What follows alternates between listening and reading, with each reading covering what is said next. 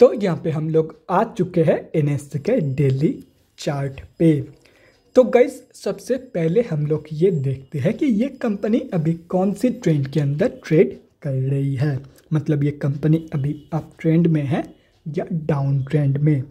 तो देखो गाइस ये कंपनी अभी अपनी 200 की मूविंग एवरेज से ऊपर ट्रेड कर रही है। मतलब कंपनी अभी ऑफिशियली अप ट्रेंड में है।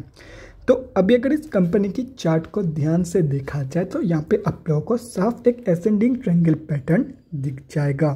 So guys simply wait for the breakout of this pattern अभी अगर इस पैटर्न की ब्रेकआउट बाय चांस नीचे की तरफ़ हो जाता है तो सिंपली उसके बाद आप लोग अप्रॉक्सीमेटली यहाँ तक की फॉल एक्सपेक्ट कर सकते हो, जो कि एक स्ट्रॉन्ग सपोर्ट बेस है इस कंपनी के लिए। अभी मैं यहाँ पे प्रॉपर ब्रेकआउट की बात कर रहा हूँ कि अगर बाई चांस नीचे की तरफ़ प्रॉपर ब्रेकआउट हो जाता है तो उसके बाद आप लोग अप्रॉक्सीमेटली तीन सौ तक की फॉल एक्सपेक्ट कर सकते हो फ्रॉम दिस कंपनी अभी यहाँ पे मैं फेकआउट की बात नहीं कर रहा हूँ।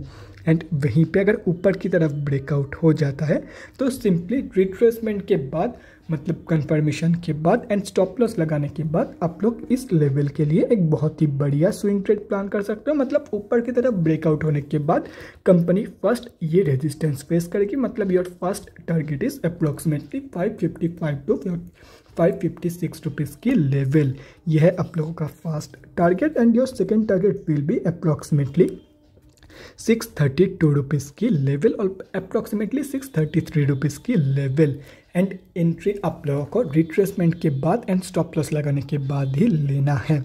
देखो, अगर स्टॉप लॉस स्ट्रिक्ट लगाना चाहते हो तो स्ट्रिक्ट लगा सकते हो लूज लगाना चाहते हो तो लूज लगा सकते हो, लेकिन स्टॉप लॉस लगाना भूलना मत। स्टॉप लॉस आप लोगों को ज़रूर लगाना है। बाकी लेवल्स आप लोगों के सामने है तो अगर आप लोग चाहते हो तो स्क्रीनशॉट लेके रख सकते हो। कहीं पे नोट डाउन करना चाहते हो तो वो भी आप लोग कर सकते हो। तो guys that's it for this video अगले वीडियो में मिलते हैं guys thanks for watching and guys stay safe